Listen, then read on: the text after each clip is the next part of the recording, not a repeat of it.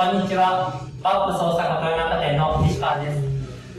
今回は、ゼオライフドライ機能がついているモデルと、スタンダードモデル、ボッシュのこの2つのモデルで検証していきたいと思います。検証内容は、余熱乾燥の時の再結露はどのくらいで出てくるのか、そういったところを見ていきたいと思います。今回ですが、運転モードはエコモード。ここに時短オプションをつけて、おおよそ1時間ですね、運転をし、その余熱乾燥によった結露、そういったところを皆様に見ていただければ、どちらのモデルを選べばいいのかといった、そういった時の参考になるかなと思います。電源をつけて、エコモード、時短オプション付き、スタート。それではこちらも運転します。電源をつけて、エコーモード、時短オプション付き、スター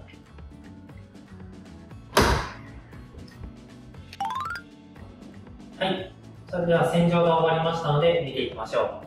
う。では洗浄完了後、すぐの状態です。まだ蒸気が出てる状態です、ね。で熱乾燥も働いてるんですけども、一度開けて状況を逃がしてやると、乾燥効率が良くなります。ただ、時短オプションで運転しているので、ところどころに水滴が残っているような。ただ、食器自体の蓄熱性があるので、一度開けて取り出していく段階でほとんど乾いてしまいます。もう開けてすぐぐらいですね。もう軽くちょっとだけ残っている水滴と洗いながら直していけば、直していく段階で、食器自体の蓄熱性で乾いていく。やっぱりプラスチック容器だと、こういったところに水滴が残ってきます。時短オプションを今回つけているので、乾燥効率、洗浄効率ともに少し通常の運転よりは悪くなっているんですが、それでも全然乾いてくれてます。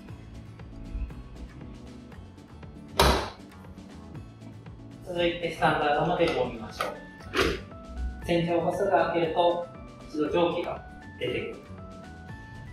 フライパン自体も蓄熱性があるので、多少水滴残ってますけども、口のあたりとか、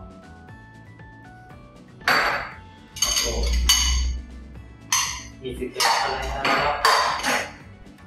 プラスも熱いので、全然水滴残ってないです。プラスチックの食器に関しても表面にところどころや水滴が残ってますが、結構熱くなってますので、でもほとんど乾いてくるので、こちら側ももう乾いてマグカップも水滴が残ってるのを洗ってあげて、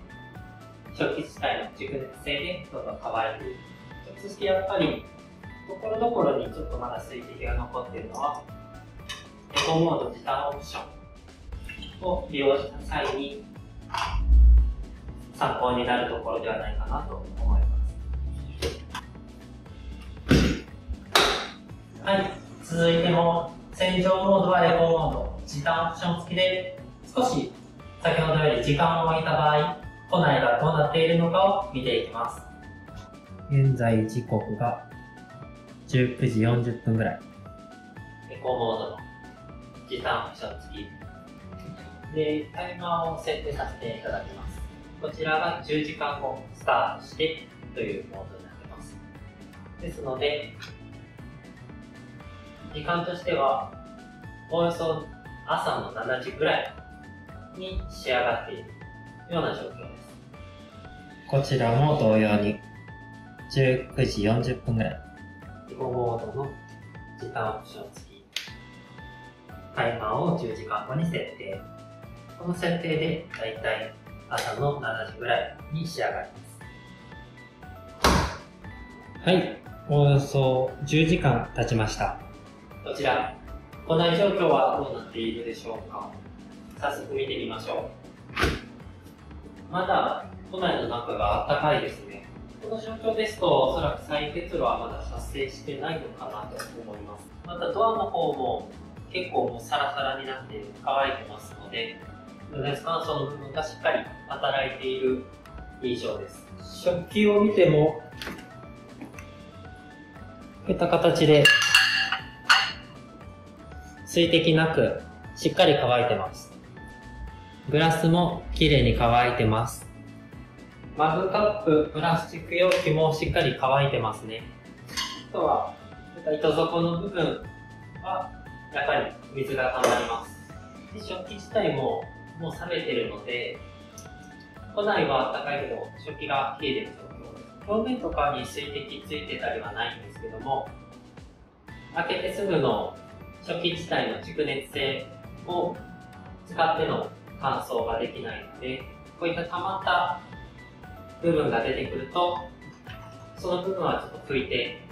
しまっていく必要があるのかなと思います。冷食洗機の特徴である余熱乾燥がしっかり働いている状況になってます。はい、こちらもおよそ10時間経ちました。庫内状況を見ていきましょう。庫内容量に対しての食器量がやや少ないので、こういったドアの部分とかにちょっと水滴がついてきてますね。ただ食器自体はしっかり乾いてます。こんな感じです。マグカップも乾いてますし、グラスもしっかり乾いてくれてます。糸底部分にやや水滴といった具合ですね。プラスチック容器もしっかり乾いてます。裏の細かい溝の部分を見ても乾いてます。この容量に対しての食器量によって乾燥効率も変わってくるんですけども、やっぱりゼオライトドライが入っている分で、これだけ粉容量に対して空間、隙間がたくさん空いている状況でも食器自体はしっかり乾いて乾燥してくれる、そういった印象になってます。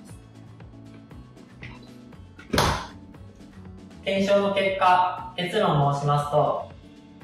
再結露、ほとんど起きてません。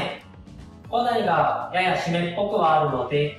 時期やタイミングによっては、食器への再結露がやや懸念されるぐらい。乾燥に関して食器にすごい湿気が残ってる、結露が起こってるといったところがちょっと感じられなかったので、乾燥効率といった面で考えますと、問題なく必要十分にお使いいただけるのではないかなと感じました。特に今回スタンダードには食器が多く入ってましたので、庫内容量に対して食器をしっかり収納していただければ、乾燥効率といった面でも、ボッシュスタンダードでも全然問題なくお使いいただけるかと思います。また、ゼロライトモデル、今回庫内容量に対して食器量がかなり少なくなっているんですが、食器しっかり乾いてました。やっぱりゼロライトドライ機能がしっかり作用しているのかなと感じます。カップス大阪豊中店では、こういったように、ボッシュ食洗機、運転状況からご確認いただけますので、乾燥具合や洗浄力、運転時の静音性能についても、しっかりご覧いただけるようになってます。皆様のご来店、心よりお待ちしております。